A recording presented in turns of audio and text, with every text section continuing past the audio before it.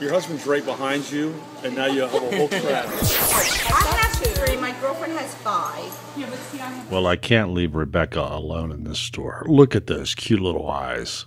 What can I say?